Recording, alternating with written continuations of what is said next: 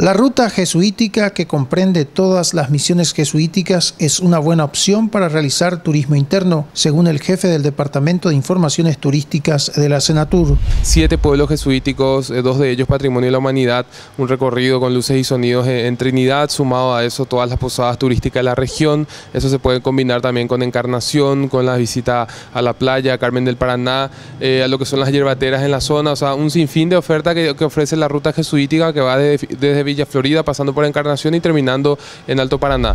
El turismo de aventura es otra opción para los amantes de la naturaleza. Turismo de aventura hay varios lugares, eh, Chacurrú en Pedro Juan Caballero, a 15 kilómetros de Pedro Juan, un lugar donde pueden hacer circuitos, eh, arborismo, puentes colgantes, rappel, hay una serie de, cascadas en la zona también. Eh, la gente de aventura extrema que en cercanías de Asunción ofrece rappel en, en Tobatí, buceo en la cantera y Pacaraí, algunas actividades especiales de arborismo que tienen montados en en, San Bernardino también. La Correcero en Bato bien Paraguarí, uno de los lugares mejor posicionados también. Y ahora el Salto Mondaú, que ahora se habilitó las mejoras y tiene también puente de colgantes y alguna actividad de senderismo, además de admirar el, el Salto Mondaú en sí.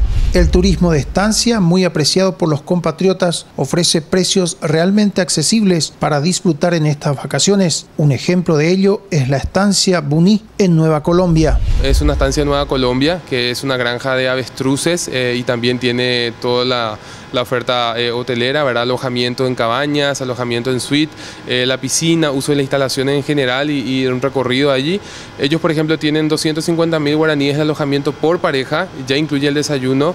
luego tienen un restaurante abierto al público. Hay otra opción para la gente que solo quiere pasar el día, cobran un 95 mil guaraníes y eso incluye, por persona, incluye un, un almuerzo buffet en el restaurante. Eh, y el uso de las instalaciones en sí en la piscina y todo lo que tenga el establecimiento. Con imágenes de Carlos Jiménez informó Claudio Genes para ABC Color.